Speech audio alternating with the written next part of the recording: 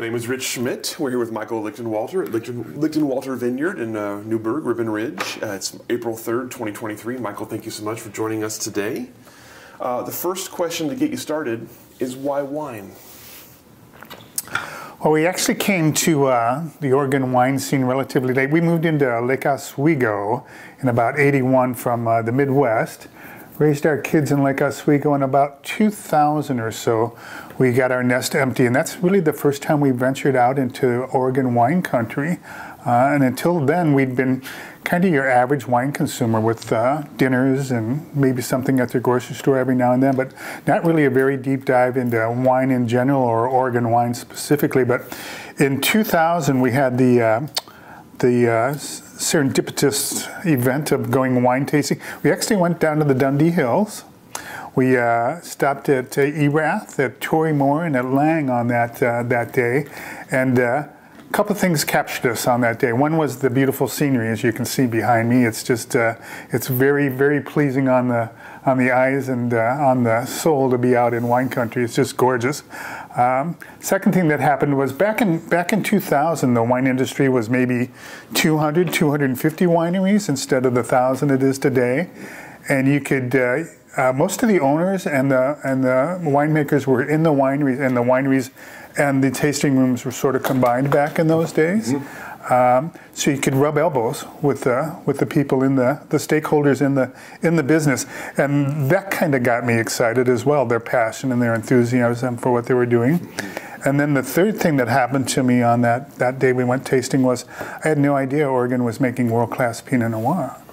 And uh, this is some of the best Pinot in the world is made in Oregon, and that kind of intrigued me. So those three together got me rolling, and uh, got me thinking about my next chapter in life because uh, the kid chapter and my main career chapter was sort of uh, at its peak or winding down at that point, and we were starting to think of what's our retirement chapter going to look like, what's chapter three going to look like, mm-hmm. and uh, saw this as, as a very viable option for us.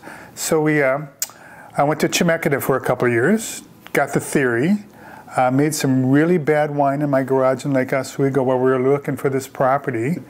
Um, but, you know, started to learn what the fermentation cycle was all about and uh, what not to do and how important good quality material is in your, in your winemaking process because the material I was using was not really the greatest material, but it was grapes. Uh, and, but my main goal in that whole process was to get enough theory and enough education to be able to shop for uh, vineyard property with an educated eye. Uh, I didn't want to buy uh, oceanfront property on the swamp somewhere. I wanted to know uh, what I was looking for. We looked uh, for about, we probably looked for a year for property on and off, and we used a real estate agent that was a specialist in wine properties and uh, finally happened onto this particular site, which was an hazelnut orchard at the time we, uh, we, we found it. In fact, this whole valley from Utopia just to our south all the way up to what used to be Kathy Redmond's, which now Josh has, was one long uh, hazelnut orchard. And the ground, uh, if you've ever been in a hazelnut orchard, is not the healthiest ground to walk into and want to plant uh, cash crop into. So I was a little, a little hesitant to, uh, to jump in on this property. The things that it had going for it were one that it was on Ribbon Ridge, uh, the buyers, uh, the seller was in a, a, bank estate department, so I didn't have a really interested seller. So I had some leverage there to get better pricing. And then the third thing that happened is when I was on the site with the real estate agent, we looked up, uh, you can't see it on the camera probably, but in the middle of the hill across from us, there's a vineyard. And I asked him what that vineyard was, and he said, well, that's Beaux Frères and that kind of caught my interest. if we were in Beaux Frères's neighborhood and in that same terroir or that same soil, uh, I thought it was worth drilling a little bit deeper into. So we ended up buying the property. Took a couple of years to wind our way out of Lake Oswego and come out here. We came actually came out here and we bought the property in 2003. Uh, built the house in 2005 and moved out in uh, late 2005, 2006 onto the property and been here for the last, what is that, 18 years now? 17, yeah. Yeah, 18, time, yeah. time, flies. Yeah, yeah. Sure does. All right, I got lots more questions about that, but let's back up a minute. You mentioned this being chapter three. Tell us a little bit about life before wine for you. Where were you born and raised, and what was your sort of career path? So I was born in the Midwest, a suburb of uh, Chicago. I was actually born in Chicago, but grew up in a, about 20 miles west of Chicago in a suburb called Glen Ellyn. Uh, and at the time, uh, 100 years ago when I was growing up there, it was, uh, was very rural, uh, very farm country, uh, a lot of corn, a lot of soybeans, a lot of wheat around us. Um, great place to grow up. It was kind of, it was kind of like the Lake Oswego of Chicago. Had a lot of similarities in that it was a relatively wealthy um, suburb, uh, comfortable suburb to grow up in. But by the time Kay and I had had our children, uh, Chicago had run over the town and the farm country was all gone. It was strip malls and condos by the time we were having our kids. And it was a whole different lifestyle than what I grew up in. And we wanted more of an outdoorsy lifestyle to uh, raise our kids in. And so we looked uh, primarily in the Northwest. We looked in the uh, Seattle area and then the Portland area, and luckily decided on the Portland area and uh, came here in 81. Right after Mount St. Helens blew up, my family thought I was completely crazy to move out by a volcano. Um, but it was kind of watch, fun to watch the uh, puff alerts of the, uh, what the volcano was doing for that first year or two on the news. It was uh, always exciting to see what the volcano was doing. but uh, we ended up uh, living in Lake Oswego from 81 through 2005 when we moved out here. And the career that I did when I came out here is I'm a CPA. And so I was working in public accounting when we moved out. And through the 20 years or so we were in uh, Lake Oswego, I evolved through the finance uh, career path and went into private accounting and uh, eventually got my executive MBA at the Oregon program, uh, University of Oregon program, which kind of gave me a little bit broader set of skills than just the CPA set of skills, mm-hmm. which allowed me to kind of go into a consulting world. Mm-hmm. And I went into um, went into investment banking for a number of years and sort of learned the merger acquisition route, learned more. And my, my role in the merger and acquisition firm was more of a CFO consultant. And that's ultimately where I am today. I still do some CFO consulting, but on a very limited basis. And um, my primary client is a classmate from my executive MBA days. He has a very successful company and uh, in Tualatin and he's got financial needs that are in the healthy seven figures and needs a CPA level quality uh, skill set to help him with his bank and all that type of stuff. So I do that for about three companies right now. And then uh, when I'm not doing that, I'm driving the tractor around like all CFOs do yeah. on the side. uh, so tell me about uh, how that became the career path for you. What, what interested you in finance, uh, public accounting? Uh, well, back when I uh, was in school, I was looking for a professional career, something that had sort of a, um, a level of skill set required to make you a specialist. And I also wanted, uh, when I started looking at that whole area, um, I wanted to, to sharpen my my problem solving skill set is I figured out pretty early that you don't make a ton of money just necessarily being an employee, but when you can get to the level of consulting and being able to solve other people's financial problems, you can start to not only add a lot of value to their business, but you can make a healthy living at the same time. So I sort of saw that early in the public accounting realm that that had a path to that um, vocation, and uh, it took, only took 25 years to get there. But it, it, it, was a slow path. Just it's got a lot of similar things to the uh, wine world and the vineyard world in that it takes a lot of patience and it takes time to get to where you want to get to. It's not a not a switch. It's a dimmer thing, and it takes a while to to progressively build up where you want to get to.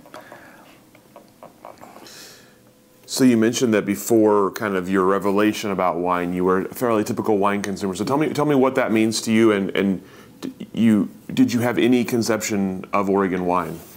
Really, no. I uh, I had drunk a few and had been to a few wineries for. Uh, you know, weddings or social events and things like that, but hadn't really gotten um, bitten by the bug, so to speak, or the snake, or whatever it is. Uh, but uh, always enjoyed those events. Uh, there's something magical about being on a vineyard and being in a winery that uh, just is just feels good. It's just uh, really nice. But I, I, it, it wasn't compelling enough until that event in 20 uh, or 2000 to make me want to make it a career, to really pursue it. Uh, I think it was it was as much of a time in my life as it was a you know, an opportunity. I was just, it was the right time in my life to look at that opportunity, and it came along at the right time, and everything lined up. And uh, it's kind of fortuitous how things happen. The timing of things are as important as, as what they are. But uh, it's, you know, it's 180 degree different than the finance world where you're, you know, it's all in your head. Uh, where this is all around you and it's in the dirt and it's tangible, where the finance world is spreadsheets and completely uh, intangible. Uh, so for the last 15 years or so, where I was still very much in my finance career and uh, growing and planting the vineyard, it was a great release from the two. They were completely opposite of each other. So spending four to five days in the finance world and then three to four days in the vineyard was very refreshing and very rejuvenating for me and uh, helped me keep my sanity. You mentioned Chemeketa as the first stop along the way for yourself. Mm-hmm. Tell me about that experience for you. What did you learn, and what, what were the what were the surprises? Uh, I think the the the key messages or key things I learned from that experience, besides the theory, uh, which is always a nice foundation to have, but uh, was was the contacts you made and some of the relationships you made. Like I was lucky enough to have Al McDonald as my viticultural teacher, and Al's a legend in the Oregon wine industry, and he was just a great guy to get to know in those first couple of years. And I bump into him every now and then. I don't know if he still remembers me because he's probably had so many people through his programs that I'm just one of the numbers. But uh, he, it was it was kind of fun to have that connection and to make the connection of all the people that were in the program at that time. I still see a handful of those people from that was 20 years ago, mm-hmm. and there's two or three of them that I still am friends with, just like from my uh, MBA program, I still have a. Those connections are what those programs are all about, mm-hmm. and the relationships that you get there. And uh, if you're lucky, uh, they're healthy, they're good, and they're uh, constructive for everybody involved. Mm-hmm. So my my my recollection of the Chemeketa thing was was the theory was was good. It it certainly in, improved the winemaking results that I started with in my garage from what I'm doing today. Uh, but you know that foundation uh, is still very important to me. Those protocols that I learned in winemaking 101 uh, are still things I use today and still draw back on. So it was kind of the, the, the seed that planted the whole tree came from Chemeketa. So at the time you completed the work at Chemeketa, what were you sort of thinking about? You mentioned you were going to look for property and you were mm-hmm. helping. That was helpful for, for narrowing down what you wanted to look for. What was the plan at that point? Were you thinking you would make wine? Were you thinking you would be very involved in the process? What was kind of what were you kind of thinking at that point? Yeah, my initial plan was to find a 15 plus acre parcel so I could hit kind of those thresholds that you need to build a winery, build a tasting room. Uh, and I sort of originally planned was to kind of do it quickly. Let's get to 15 acres, let's get to three, 4,000 cases, whatever it is, and away we'll go. And I quickly, uh, as soon as I, we bought the property, we took two to three years to just kind of take the hazelnut orchard down, regenerate the ground, and then we started planting slowly. We planted, uh, we planted a half acre right by the house that's a field blend. It's actually nine rows of Pinot with seven different clones in it. Uh, and we were primarily after uh, just to make sure that the ground was healthy enough to support the plants and that the toxicity in the ground wouldn't kill them right away. And, and they did fine. And that uh, that field blend wasn't not intended to be the field blend that it's turned into today, but it's one of our most popular wines that we make. When you wrap those seven clones into a co-fermentation and bottle it, it makes a spectacular wine. Mm-hmm. And we only make about 100 or about 50 cases of it every year, and it sells out like a hotcake. It's really, really a great, uh, great little thing. But so my, my vision was pretty grandiose, and then reality set in, and, and I figured out that well, the vines have to get to four to five to six years old to get to where they're they're dependable and they start to give you some good results back. So I, I slowed everything down and I planted. Instead of doing 15 acres on day one, I, I did three acres and then Two years later, I did three acres, and then two years later, I did three acres. I didn't want to make all my mistakes at one time. I wanted to spread them out over 10 or 15 years, and I was very successful at doing that. but no, I actually, you know, the thought was to learn as we go and make this mistakes on a small parcel, and then hopefully get more efficient as you went on with it.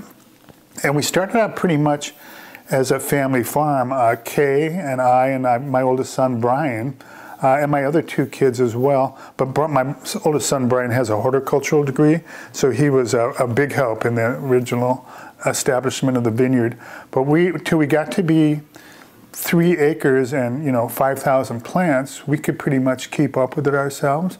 Uh, in fact, it, it, it, was doable, but as soon as we planted the next three acres and went to you know 6,000 plants, 7,500 plants, we just couldn't get through it fast enough. Uh, it, was just too many plants for us to get to. and I was lucky enough to run into the vineyard manager I'm using today, who is uh, Javier Marin and his boys. Uh, and he was vineyard manager over at Shea for a number of years. Javier's got you know more experience than most people I know in, in how to farm a, a vineyard. So once we got to this, this acre 456, Javier came in and has been helping us ever since, keeping that going. I am pretty much limited to the tractor work now, uh, and they do all the canopy management and all the pruning and all the all because there now there are now let's see, there's 13 acres of vines out there, so there's almost 17, 18,000 vines out there, which takes you know, a lot of time to go through. It takes some manpower to get through all that, and it's got to be done on time, mm-hmm. and it's got to be done correctly. And he's a pretty meticulous farmer, and we've got what we consider to be some pretty premium ground. So we want to optimize what, what the product that we're getting off it is. Mm-hmm. Uh, so we want to farm it right. Mm-hmm. And Javier has been really great at that. But so so the the original gangbuster plan slowed down. Once we got to about five years ago, it was about 2018, I was starting to slow down in my career a little bit, and so I decided it was time. I, I didn't have that many more vintages in front of me, so I said, well, if we're going to do a brand and we're going to do a label, we better start it. And and I had up to that point, and I still do today, sell the majority of my grapes to my neighbors. Uh, and I was lucky enough to run into Drew Voigt of Harper Voigt, who is the consulting winemaker up at Eminent Domaine, who has been uh, a purchaser of my grapes for a number of years. Uh, and Drew was willing to take on my winemaking project.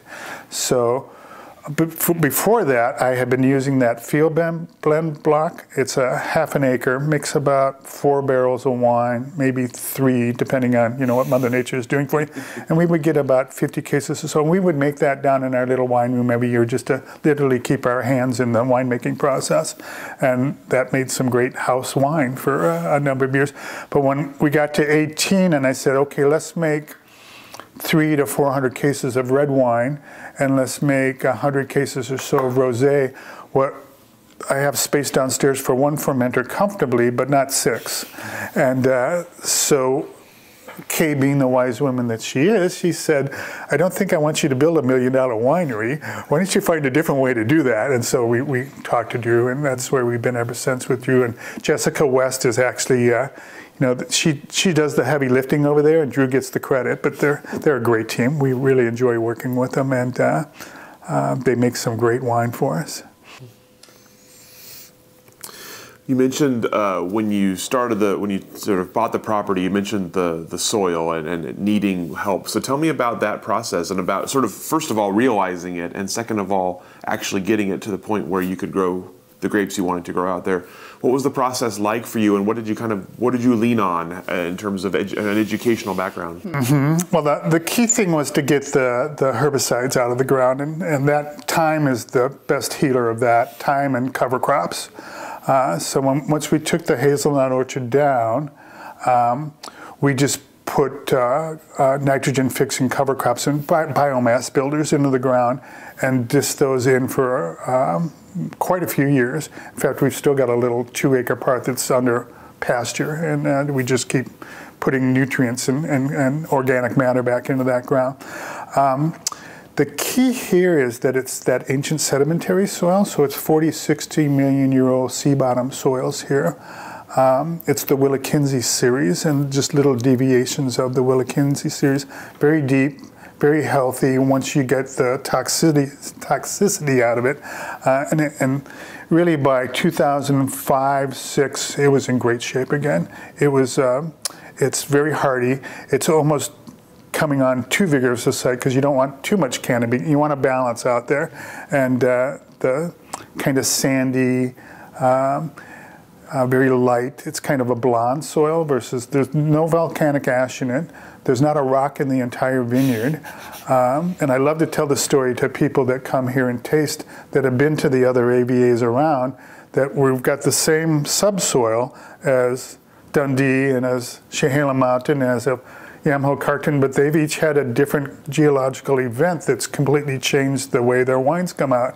The volcanic ash in Dundee, the tectonic plate pump in the Chehalem Mountains that brought all the rocks up, and then uh, there's some volcanic and some more organic matter as you go west of us into the Chehalem, I'm sorry, the Yamhill Carlton AVA. But our little island on Ribbon Ridge is just this pristine old sedimentary soil, which grows a, just a really elegant, really fine wine. And uh, our job is to make it as healthy and as strong as we can coming out of the vineyard and then stay out of its way. So it wasn't wasn't really anything, you know, it wasn't really a, a, a SWAT team that we had to bring in to recover the soil. It was it was a matter of time. Tell me about the first grapes when when you got you got your grapes, you got, you got your vines planted, mm-hmm. wait the time, all the all the effort, all the waiting. Tell me about the, what the first grapes. That's kind of a fun story. It's one I don't like to remember, but our fir- our our first um, commercial crop off the three acres down below us came in 2010, and one of my classmates. Uh, from Chemeketa, her name is Ann Hubatch, runs Helioterra and uh, Portland um, had agreed to buy the grapes. We were thinking we were going to get close to eight, maybe nine tons off the three acres. And 2010 was the year of the birds. Uh, and I had no idea how to fight birds at that time. So I went out to OVS and I bought a bunch of the bird squawker boxes that scream like 10 birds getting killed, different stuff, set them up down there and walked away and thought I was good. those starlings came through and they probably took 70% of my grapes to California in their tummies. And we start, yeah, we ended up with maybe two, three tons coming off the crop that year. And, uh, it was just disaster. So uh, we learned we learned the value of netting and the value of some bird uh, abatement devices that year. But that was my first commercial harvest. it was one of those uh, those heartbreaking things that farmers run into, and there's a lot of heartbreaking things that farmers run into. But uh, that was kind of tough the way that that happened. Um, so the next year we ended up, because we only had three acres, we ended up netting the whole vineyard. And we ended up netting it for about the next two or three years, and then we put another three acres in. I think we netted that, so we netted six acres. But then when we went to 9, 10, 11, 12, it started to get too big to commercially viably net it all. Uh, it's just too labor intensive to do. But luckily, uh, Mother Nature flipped the coin on us a little bit, and between 2010 and today, with the warming that we've had, the migration of the starlings has slowly backed up into later and later into October. So instead of swarming us in September, they're swarming us in the end of October, beginning of November now. And you, and if all things line up, uh, we'll be out of the vineyard and the grapes will be gone by then. Uh, so we can we can take care of the bird abatement with um, propane cannons and a, and a little shotgun. We'll, we'll keep, and Ruby. Ruby, Ruby runs the birds out.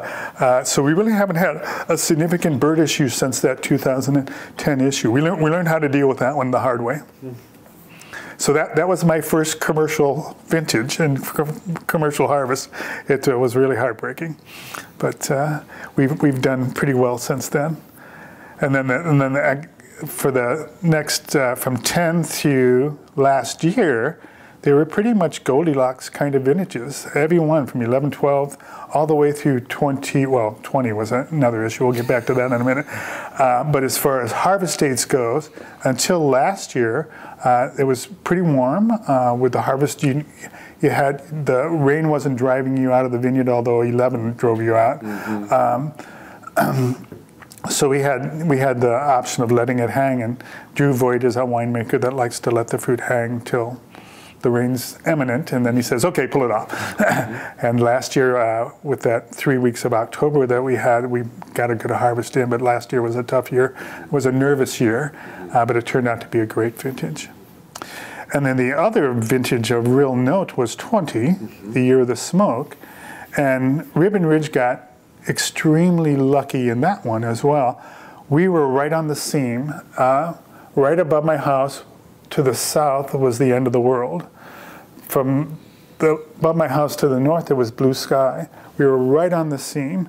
And then there was also a uh, fire on the Chehalem Mountains that went directly south, about two miles east of us, and it didn't blow with the, the, the upper wind that usually blows to the east was blowing to the west and bringing the cascade smoke about 3,000 feet above us.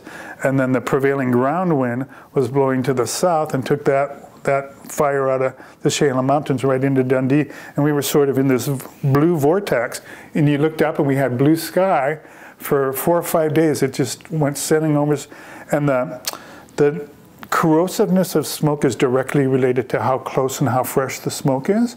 And so by the time the wind stopped and it settled on us, it was five days, six days old. And it wasn't fun to sit around in, but its damaging qualities to the grapes had mitigated substantially.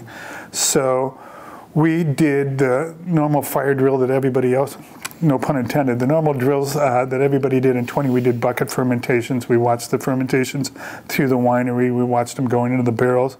Uh, and when our and not, all those showed no sign of, of damage. Uh, the test that went into the lab, and the lab was really backed up because everybody wanted to test, and you really didn't know what your chemistry was till three or four months after, you know, that fermentations and things that were in the barrel. Uh, our test came back and said, well, you've got smoke, but it's very, very low, and, and depending on where the customer's perceptin is on their spectrum, you probably won't have an issue here. So the one thing we, the one thing that we still weren't real comfortable with was smoke is known to two, three, four years down the road all of a sudden appear in your wine. Uh, and we didn't see any now, but we go, well, should we spend the money to bottle it and then three years from now have a mess? And Drew said, well, there's an enzyme you can use to hit your wine with to release all the smoke in it, and we'll know today what it's going to be like three to four years from now. So we took our 12 barrels that we do every year and hit it with the enzyme, and then took it through Drew's really good palate. He and Jessica and his crew have uh, extremely good palates, uh, and nobody could pick it up. Mm-hmm. And then, in fact, we just did. I just am now releasing my 20s, and I took it over to Drew and Jess and, and um, uh, Cassidy, who's also over at uh, Harper Voigt, and had them. They always help me with my tasting notes, and they said they couldn't tell that was a 20 if I hadn't told them it was a 20. It's got no sign of smoke in it at all. So two miles further to the south, it was a disaster. Right here, we just got very lucky. So there's so much luck involved with farming and what, what happened, particularly in the wine business, that uh, we were just really fortunate to have a have a great. Pro- it was 20 was one of the hottest years on record to that point, and it, you know they continued to get hotter. But it was a phenomenal vintage, and the poor growers and wineries that lost their crop that year lost a really good vintage, and it's just terrible that uh, I'm the only one with a good. No, I'm not the only one.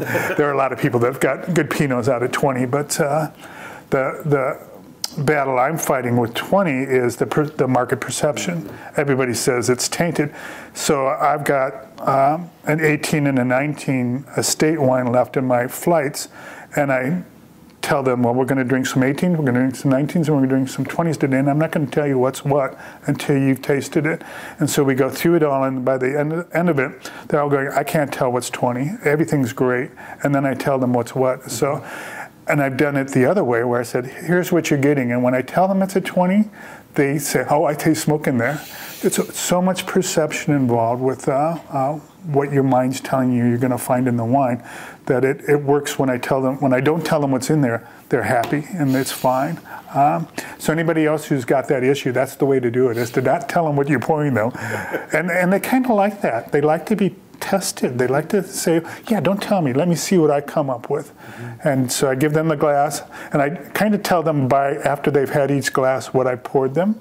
Um, but I'll make, I have a list of what they're going to drink, and but I do it out of order. So they think, you know, the first one says 18, the second one says 19, but there's a 20 that I pour in there, and they go, it's young, but it's fresh, it's great. And I go, well, that's the 20. it's amazing. Yeah. You mentioned obviously luck uh, comes up a lot in this interview and in all of our interviews. There's always luck involved. Tell yeah. me about uh, especially for someone with your background, uh, getting used to that, getting used to not being able to control the variables. Yeah, yeah. well, there there are a lot of things you can control, and a lot of things, you know, the farming side, you've got the responsibility to be on time and to do the things you need to do to optimize what that grape is going to come off the vine. And then you've got to just ride with Mother, Mother Nature and let her do what she's going to do. I find, uh, you know, the, the, the effects of Mother Nature are just wondrous to go through. When I pour an 18 and a 19 and a 20 off of the same, more or less, blocks of the vineyard, uh, done in the same protocols, you, well, you get two layers there. You get the vintage effect and then you get the aging effect. And uh, they're both very influential on our wines. Um, but the commonality in, in Ribbon Ridge, and particularly this vineyard, is there no matter what the vintage is. There's, a, there's some attributes in the wine that are sort of vintage independent. And then there are some things that are vintage dependent. And the things that are vintage independent on Ribbon Ridge and in this vineyard particularly is um, there's an earthy, mushroomy kind of uh, walk in the woods attribute to Ribbon Ridge Pinot Noir. If you if you brought all the Ribbon Ridge winemakers together and said what makes a Ribbon Ridge Pinot Noir, they go it's that kind of that earthy, mushroomy, musky smell that's in the wine, and that's kind of from the sedimentary soils. But then what makes each vineyard a little different is what the what the aromatics are doing. Um, how red is the fruit? How dark is the fruit? What what fruit is coming up? Is it the raspberries? Is it the strawberries? Is it the cherry? Uh, and then the really unique part about this vineyard on Ribbon Ridge is it's extremely floral. It's got a hibiscus nature to it, and it's got uh, rose petals and violets and all these floral attributes that come onto it. That is is and no matter what vintage, you're going to get that. I think the fruits move more from vintage to vintage, and the floral is always there. The fruits are there, but is it red or is it cherry or is it pruny? What is it? And um, that moves around from vintage to vintage. And then I think the viscosity of the wine is more age dependent than anything.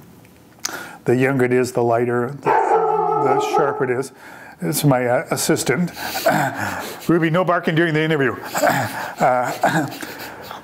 But uh, it's, it's, it's fascinating. I really find it fascinating. Then, then I also find it fascinating that uh, um, I think, I think the debates and discussions on terroir are, are very interesting, but I, I've kind of, over the time I've spent in winemaking and in the vineyard, I think it's more of the chemistry that the grape brings with it into the winery.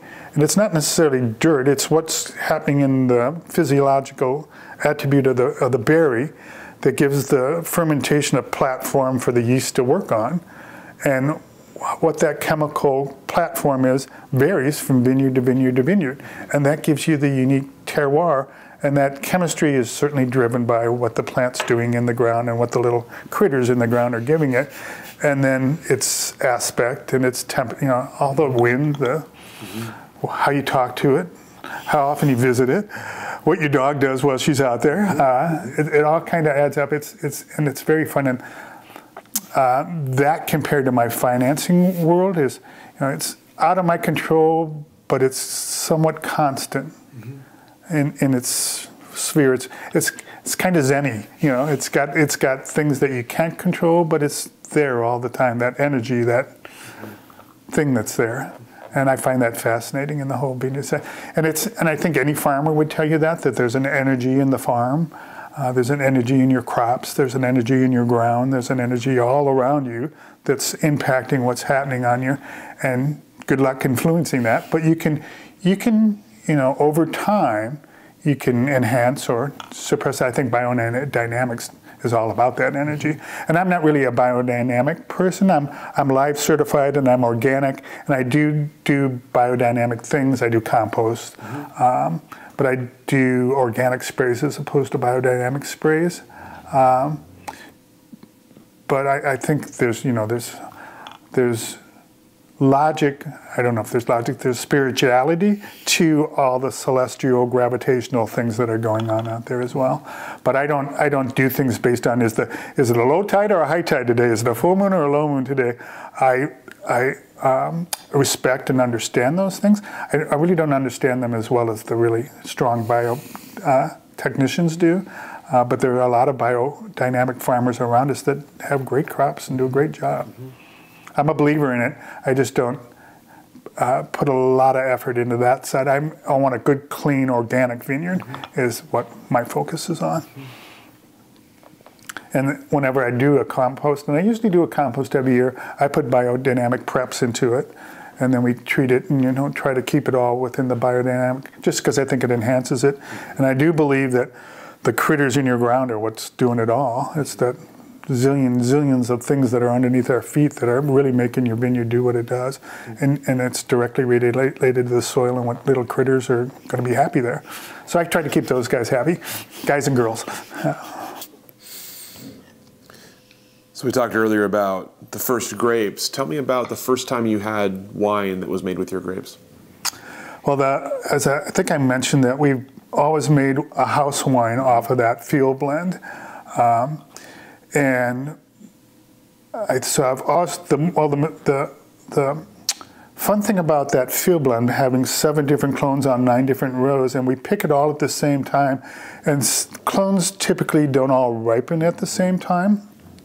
So I usually try to go to the end of the ripening season and get, get all of them ripened. So if anything, some are maybe just a hair over ripened, mm-hmm. and, I, and I try not to go to the, or air to the unripened side. Unripened fruit is much less behaving or pleasant than uh, overripened fruit. So that particular block has been uh, just a real fun one to make. It's, I've always done it indigenously. I've always put it through malolactic fermentation. Uh, we just did one fermenter down in the basement, all by hand. I've got a little itty bitty destemmer and a little itty bitty press, and I put it into a four by four fermenter. And we, the whole family, would, it was kind of the family project. They all come out. We'd all get our five gallon buckets, and we'd take the dogs out, and we'd spend a day doing that.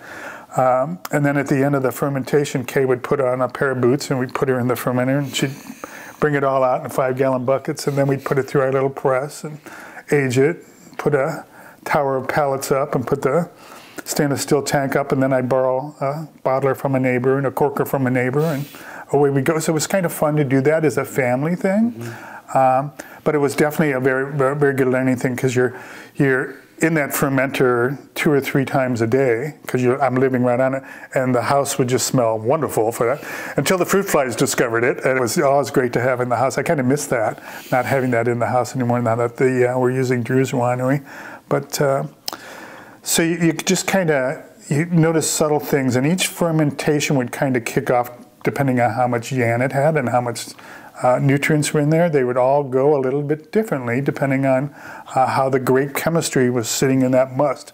Every year, I got to appreciate that and what that must platform does to your wines. Um, and I kind of, you know, tightened my protocol through time. Uh, when I did what, how hard I punched it down, how long I let it cold soak, how long I let it sit in the alcohol at the end, how hard I. I got because I, I didn't have a lot of storage room, I really didn't press. I took everything through a press, a little press, a little bucket press, um, but we were just trying to get the free run out of it. We really didn't press it hard at all, and that gave us our barrels and away we went. So I never really had to work too hard with it. You take that hard press, because we never had hard press, or light press, um, and that, you know, in, in the big winery, that's a big decision. Where's that pressed wine going to go and what's it going to get put with? Um, I never really had to deal with that here, but it was it's more just family fun, just to get everybody involved with it, and then to be able to drink the results of our of our project. And I've still got some of the 15 that I did back then, and to pull that out today, that's an eight-year-old Pinot, and it's really kind of at its prime right now versus I'm uh, I release wines after three years. I hold my wines for three years that Drew makes for me, so I'm just now pouring the 20s, and to, and it's one of the little benefits I give my. I don't show the TTB this comment, but I let uh, some of my wine club members taste that. I call it my bootleg wine because it wasn't done under TTB. It was house wine, uh, and it's at its prime. And most of the wine that I sell is three years old I've got some four years old and some five years old now, but they're still not at their prime. And to be able to show a customer what an eight, nine year old Pinot tastes like and what it does on your mouth, it's kind of fun to do that. And then, then to be able to tell them, well, that was made right where you're sitting, right in that destemmer and that press and all that kind of stuff is kind of fun. But uh, it helps me also today. I go for I when I deliver the grapes to Drew at the winery, I usually stay for the sorting, watch it go into the fermenter. Uh, and I've got a kind of a fun thing going on right now. I've got a 19 year old grandson who worked the crush for Drew this year. So he was out here helping me uh, position the grapes and getting them ready to get picked, and then followed them in the winery. And he took them all the way through. He cleaned the barrels. That you know, he did the whole thing. He did the whole intern thing. But anyway, it was kind of fun to have him involved with that. But I uh, pretty much am a hands off once I hand it once I take it to the winery uh, because they're the pros. They know what they're doing. Uh, they know the style I want. In fact, I think in two weeks we're going to go over and blend the 22s, and that'll be the first time since the yeast has dropped out of them that I really get a good taste of them. I tasted them when they were going into the barrels. Uh, and they're so yeasty that right then that you really can't tell where they're going to. You can get a hint of where they're going to go, um, but it's right now that you really, really start to go. Do we have something or don't we have something?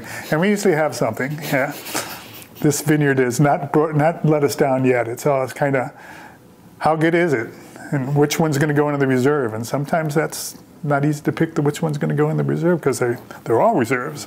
Yeah. Which is kind of fun, and when you're only doing 350 cases, it's the other the other side of that coin is out of 12 barrels that are taken from one, two, three, four, well, I, I hit a little bit of almost every block out there.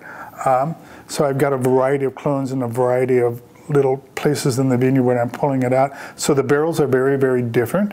And it's amazing how different the three wines that we bottle when we blend are coming from the same vineyard at the more or less the same time and having the same protocol done to them, how different they come out.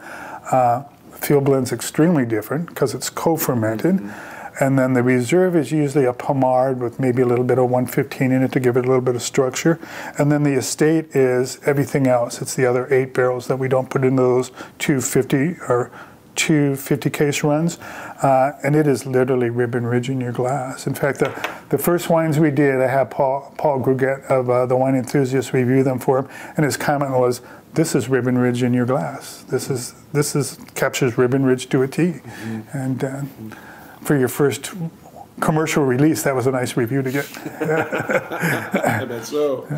He liked the he liked the Joy Block too. That field blend. He gave that a 94 and an editor's choice. Every year, that's got an editor's choice out of Wine Enthusiast. It's so unique and it's so complex. It's so layered with all those clones in it. Uh, it's really a fun one, I, and it, it is, it's a fun one for me to educate my uh, tasters on too. I'll do what's called I don't know if you've ever heard, anybody's ever explained to you the first nose, second nose. Have you heard of that one?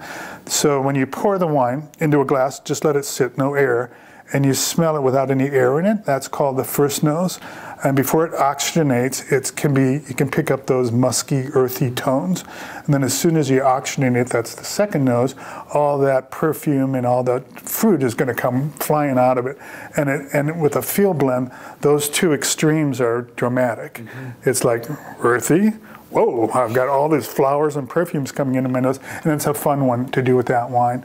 And then that wine, is it oxygenates over the, you know, the five or 10 minutes that a customer is tasting it, or as you have that bottle at a, at a meal or when you drink, those clones are just tumbling in there and evolving in the glass. It's just a really cool wine.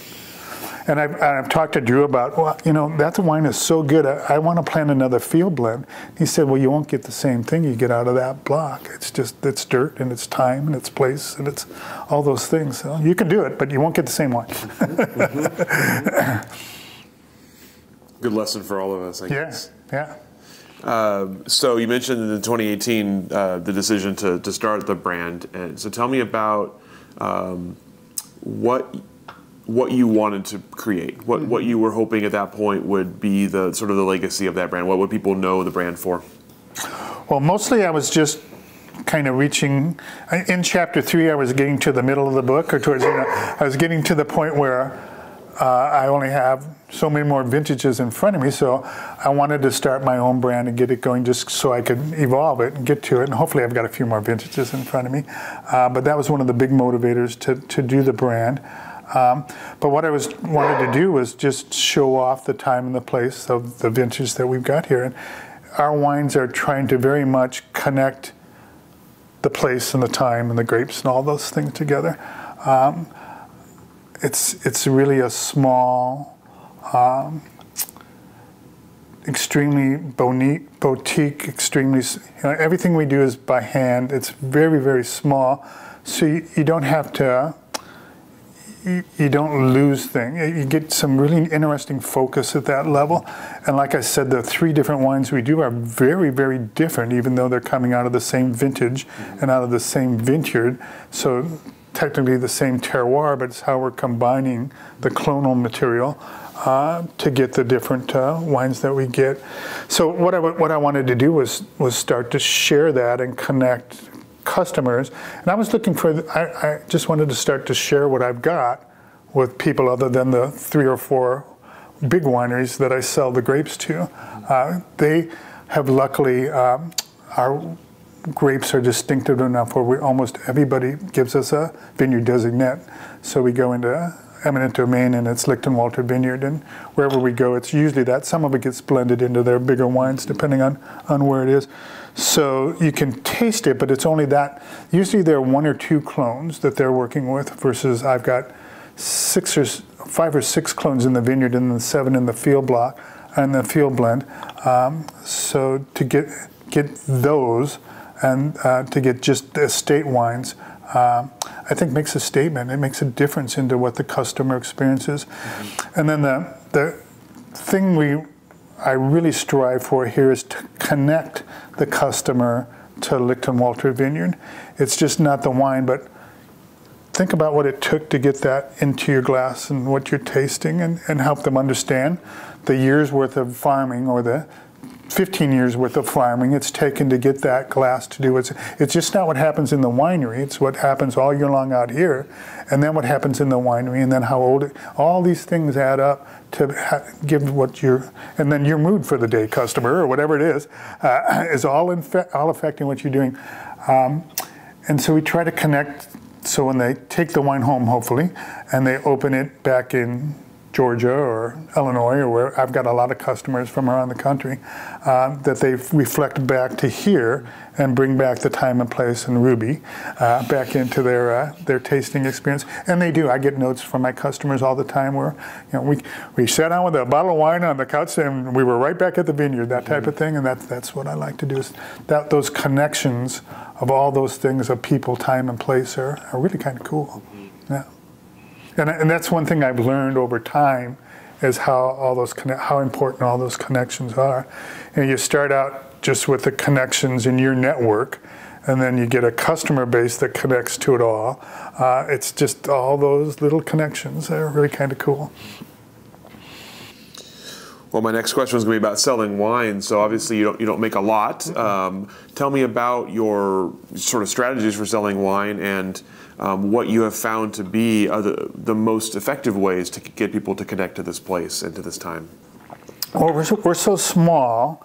Um, my primary um, sales channel is direct to consumer. And because we're so small, uh, as Rich will attest, there's room to park two cars in my driveway. Uh, I, I have to do everything by appointment.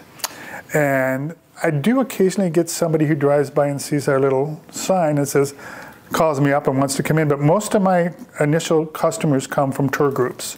So I've worked with, uh, I've got about six or seven or eight tour groups that I've established a relationship with, and when they, and most of them spend time uh, kind of interviewing their their customers that they're going to bring out on a tour and ask them what they want to see, and when they run into one that says, "I want a small off the path." Uh, off the beaten path gem, a mom and pop kind of thing that's really small. They bring them to me and they're ready for that versus, you know, if they want to just go on a bachelorette party, if they want to just go, you know, see the big wineries, I'm not the fit for that. They, uh, the best ones that work are when they do that. So the initial interface with 90% of my customers are through tour groups.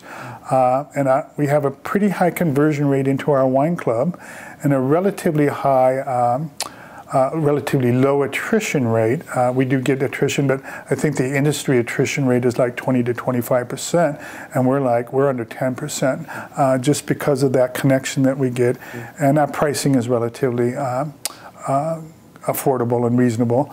um, for the value of the wine that you're getting. But again, it's it's it's just all those connections that we're trying to do. Mm-hmm. So the tasting process here is not a staff person. It's not uh, you know somebody who's not vested in the operation. It's me. Mm-hmm 100% of the wine tastings are done with me. So they get virtually what you're hearing on this tape in, a, in an hour and a half with the wines. They get that whole background story. You know? And usually the, the tour guide operator has gotten to know my spiel, and so they kind of pepper the group that they come. I ask him about how he got into it. Ask him about his dog. Ask you know. so they come loaded with all these questions to kind of get into how we got into it and why we're doing what we're doing. And then we give them sort of the geological background and why the wine's the way it is, and kind of give them that education, which a lot of people from out of state really kind of find fascinating. People from in-state find that fascinating, and the, and it's usually a new education for them. So you try not to get too geeky with them, but give them enough ammo where they can really go, oh, I understand why the wine's doing that now or I understand why it's doing this and where that's coming from, versus did you put cherries in this wine? How'd that get in there? Uh, and so that's kind of fun. but it, it's uh, it's and it's also um, uh, extremely momentum driven. So the first first year was kind of quiet. And then the wine touring groups got to know me and what I do.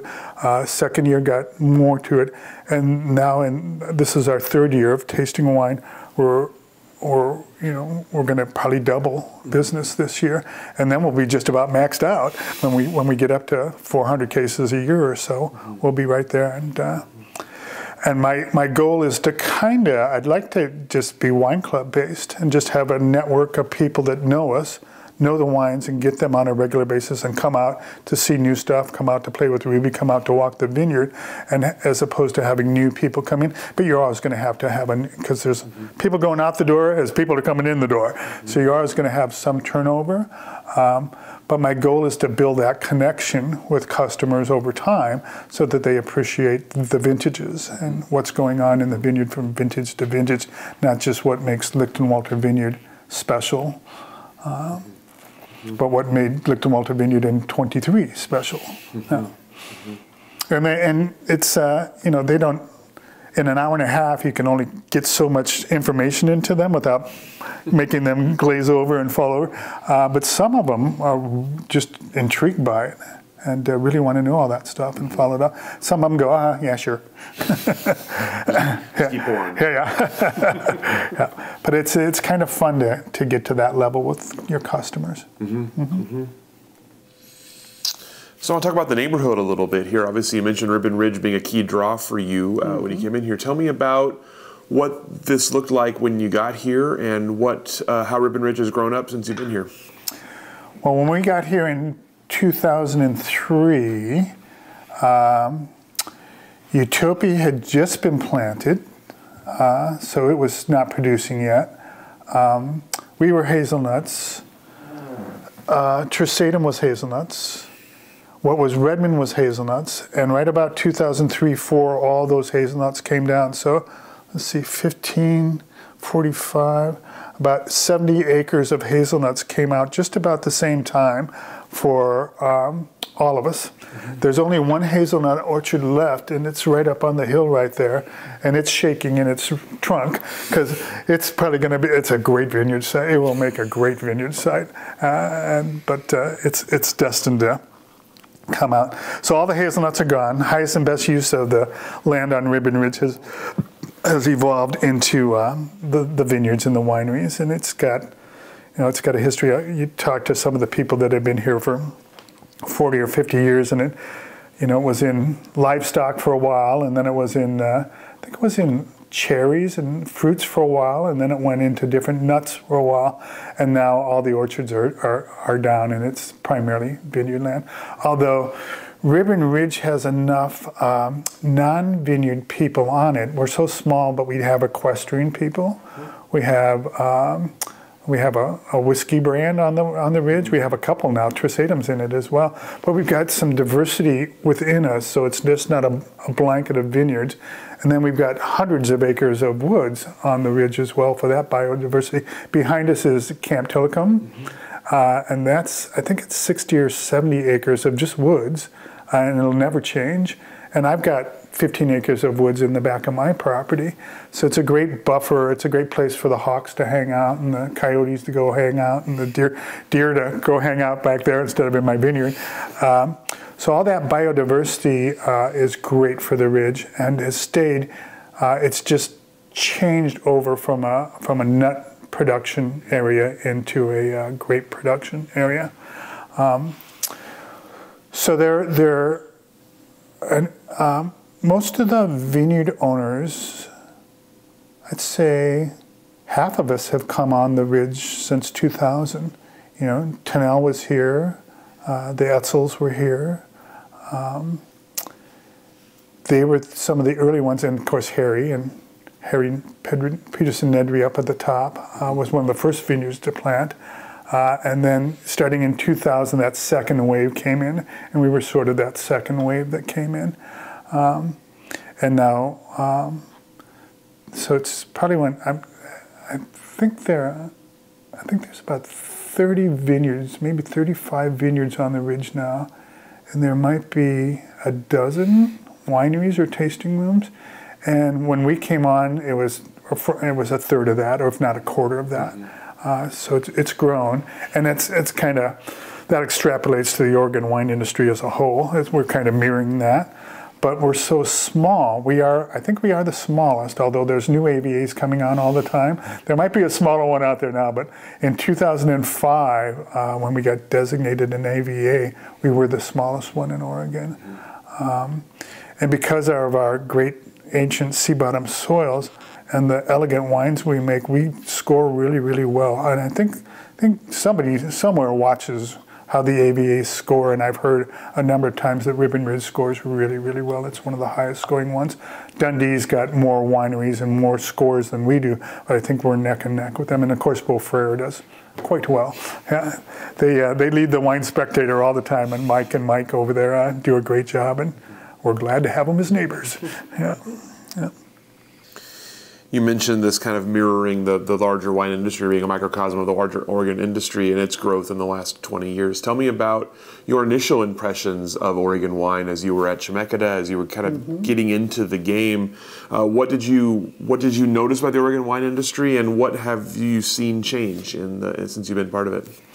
I think you know I've been in it long enough to where the initial guard that was here in 2000 when I came in, the uh, um, they were still the California Cowboys were still leading leading the charge at that time, uh, and they were they were mostly really punching the edge. Really, they were doing some really interesting things. But the really the guard that's in here now is a little bit more technically trained, I think, than and they're definitely more specialized in what Oregon needs versus some of the California attributes that they brought up, the, the spacing and some of the techniques that they use initially, they learned through, you know, uh, blood, sweat, and tears how to how to optimize the Oregon Pinots, and are, particularly that's really evident in the Chardonnays that are just now really hitting their their strides, uh, because they, they they came with California techniques, and they said, well, work down there or work up here. And it took them a while to figure out that it didn't work up here.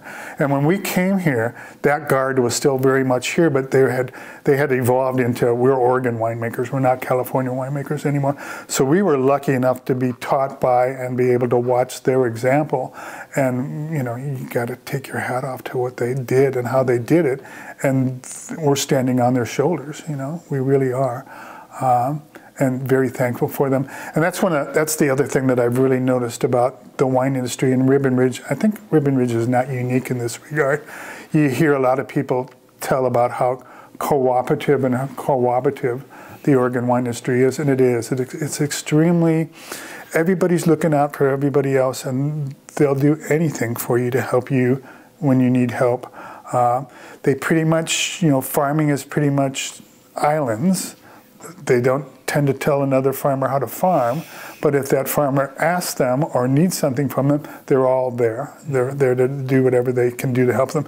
I think that that's one thing I've really noticed about Ribbon Ridge particularly is no, not too many people will come over and tell you you shouldn't be doing it that way. They'll let you do it and figure it out that it doesn't work, and then when you come over and go, why didn't that work? They'll tell you,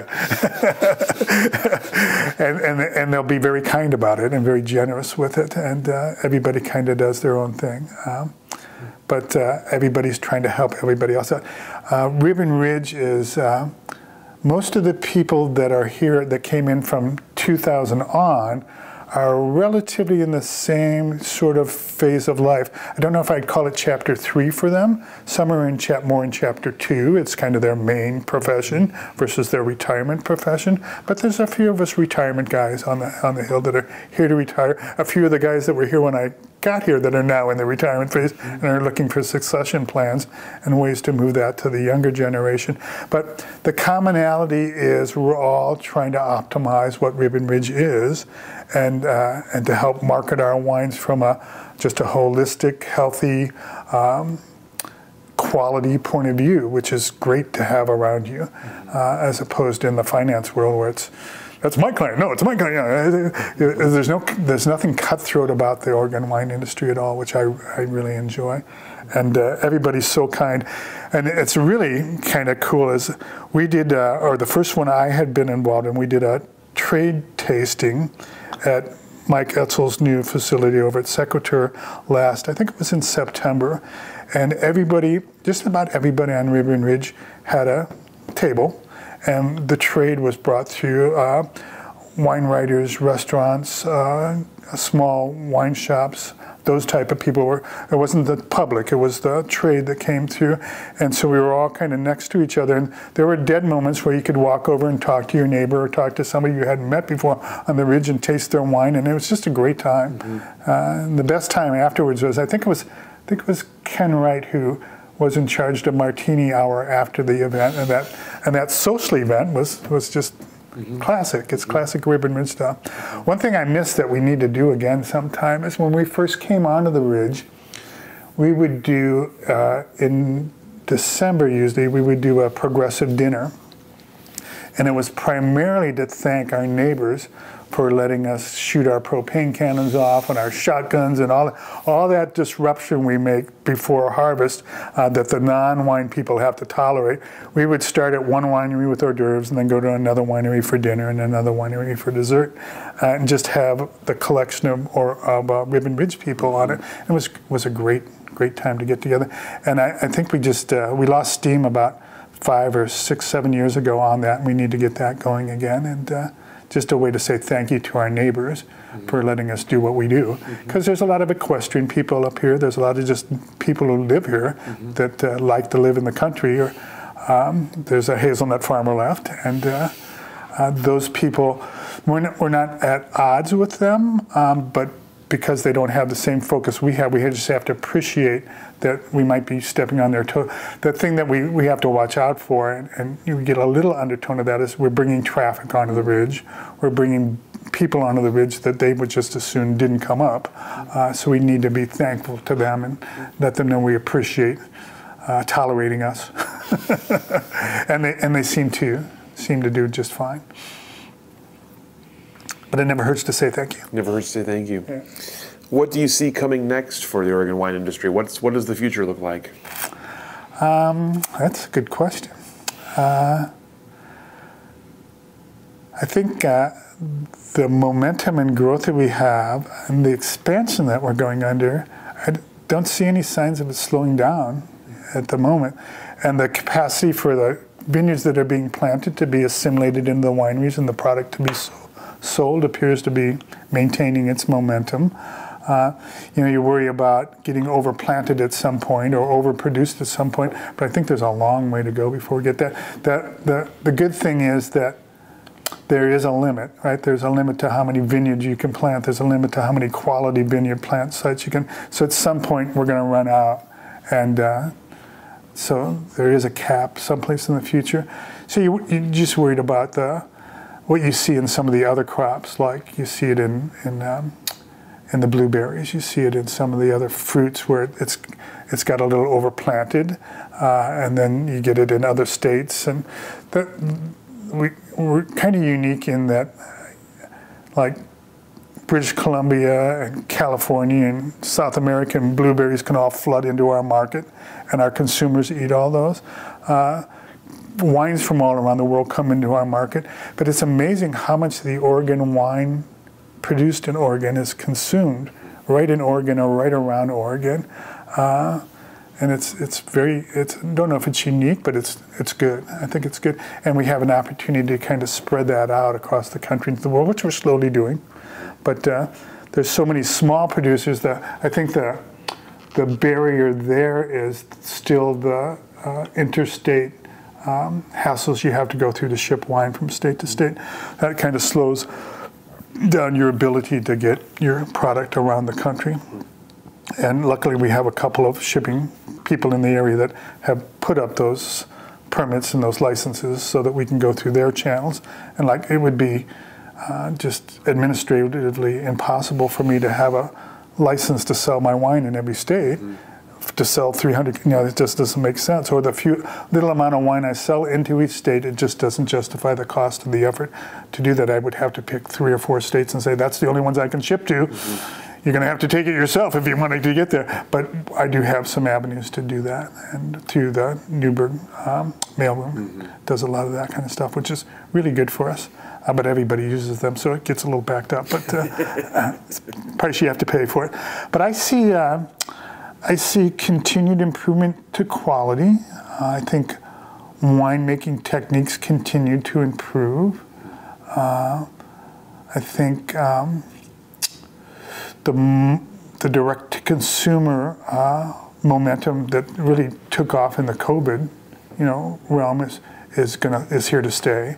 Um, I think that probably the biggest difference that we're going to have to all get better with, and I've got a grandson that's going to help me with this is the whole social media side of the world and how that marketing all works and how that all goes. Uh, I can post a picture of Ruby on Instagram, but that's about as far as I can get with it. But he, my 19-year-old, oh, give it to me, Grandpa. I'll take care of it. So that's what we do. But I see, uh, I see that as kind of the the next big umbrella. The other, the other thing that's kind of interesting about wine is that it's as you get the different generations. Um, and as the baby boomer or the older generation is sort of aging out, um, that is the younger generation going to be wine consumers or are they going to be cocktail consumers or what they're going to be? And I'm kind of of the, of the mindset that that's important, but it's more, it's more on what segment has the discretionary income to buy the wine than what their consumption patterns are as a generation because uh, I get young consumers and I get old consumers and everybody in between. And the key is do they have the discretionary income to, to drink good wine? Mm-hmm. And that's the real differentiator for me on the, on the consumer, at least the small little group that I deal with. If you're big and you've got 5,000, 6,000, 10,000 cases, you've got different marketing layers and focuses than I've got to deal with. Um, so I don't see that as a real challenge. I think there'll also be a healthy group out there with discretionary income. So tell me about what, as you look ahead for the vineyard and the brand, what, what comes next and what are you sort of hoping for long term with those things? Well, the next thing for Lichtenwalter Vineyard is we just planted Chardonnay. It's on its second year, so in another two or three years, we'll add a Chardonnay to our lineup. And as I, I think I mentioned earlier, I think Oregon has really found its legs with Chardonnay. I can't wait to get a Chardonnay into uh, into the lineup because I think Oregon. I've had a couple uh, of the neighbors Chardonnays, and they're just spectacular. They're really good. So for my brand, it, it's bringing that in.